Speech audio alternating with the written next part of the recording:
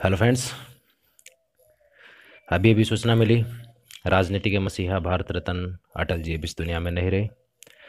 जानकर दिल को आघात लगा, लेकिन परिवर्तन प्रकृति का नियम है। हमारे चैनल यूपीएससी और ड्रीम की ओर से इनको अश्रुपूर्ण श्रद्धांजलि। आज अपन इनके बारे में कुछ बात करेंगे, इनकी कुछ उपलब्धियाँ और इनके संक्षिप्त जीवन परिचय की बात करते हैं।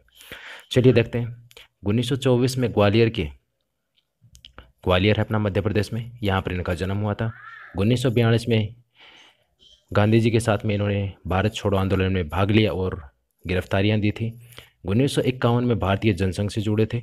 उन्नीस सौ सत्तावन में पहली बार लोकसभा में सांसद बने थे और उन्नीस सौ बासठ में ये राज्यसभा के सांसद बने थे। उन्नीस सौ अड़सठ में जनसंघ के राष्ट्रीय अध्यक्ष के रूप में चुने गए थे। उन्नीस सौ पचहत्तर की इमरजेंसी के दौरान इनको जेल जाना पड़ा था। उन्नीस सौ सतहत्तर में जनता पार्टी की सरकार आई थी। उस समय ये विदेश मंत्री बने थे। विदेश मंत्री पद पर रहते हुए इन्होंने यूएन के अंदर जो भाषण दिए थे, वो सारे के सारे हिंदी में दिए थे। हिंदी में भाषण देने वाले विदेशों के अंदर अटल जी प्रथम व्यक्ति थे भारत के। उन्नीस सौ अस्सी में भाजपा के पहले अध्यक्ष चुने गए थे, जब भाजपा का गठन हुआ था। उन्नीस सौ छियानवे में तेरह दिन के लिए प्रधानमंत्री बने थे।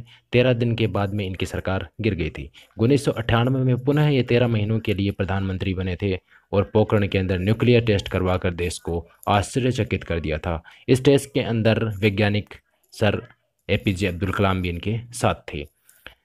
उन्नीस सौ निन्यानवे में दिल्ली से लाहौर बस सेवा इन्होंने ही शुरू की थी। ये अटल जी की देन है। कारगिल में ऑपरेशन विजय, ये भी अटल जी की ही देन है। 2001 में सर्वशिक्षा अभियान की शुरुआत भी अटल जी ने ही की थी। 2004 में भाजपा की लोकसभा चुनाव में हार हो गई थी। 2005 में राजनीति से रिटायरमेंट इन्होंने ले लिया था। 2009 में इनका स्वास्थ्य गिरने लगा और स्ट्रोक की वजह से इनकी हालत बहुत ही नाजुक पड़ गई। 2014 में नब्बेवा जन्मदिन इनका गुड गवर्नेंस डे के तौर पर बीजेपी सरकार ने मनाया था। 2015 में इनको भारत रत्न से नवाजा गया था, जो देश का सर्वोच्च सम्मान होता है। 16 अगस्त 2018 को दिल्ली में एम्स में इनकी मृत्यु हो गई थी। उसके बाद देखते हैं, अटल जी की एक बहुत ही प्रसिद्ध कविता है। चलिए उसके बोल आपके साथ शेयर करता हूँ। ठन गई, मौत से ठन गई, जूझने का मेरा इरादा न था, मोड़ पर मिलेंगे इसका वादा न था। रास्ता रोक वह खड़ी हो गई, यूँ लगा ज़िंदगी से बड़ी हो गई। मौत की उम्र क्या है? दो पल भी नहीं, ज़िंदगी सिलसिला आज कल की नहीं। मैं जी भर कर जिया, मैं जी भर कर जिया, मैं मन से मरूं, लौट कर आऊँगा, कूद से क्यों डरूं? ये अटल जी की बहुत ही फ़ेमस कविता है। काफ़ी प्रसिद्ध कविता है।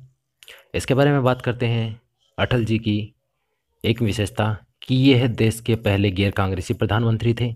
छियानवे में इन्होंने प्रधानमंत्री पद की शपथ लेकर तेरह दिनों तक सरकार चलाई थी। अट्ठानवे में इन्होंने पुनः तेरह महीनों तक सरकार चलाई थी और निन्यानवे में इन्होंने पुनः प्रधानमंत्री बनकर पाँच साल तक सरकार चलाई थी। हिंदी भाषा को विश्व स्तर पर पहचान दिलाने वाले और हिंदी में विश्व में भाषण देने वाले पहले व्यक्ति अटल जी ही थे। Thank you friend. यह वीडियो सभी के साथ में शेयर करें ताकि अटल जी के बारे में सभी को पता चले।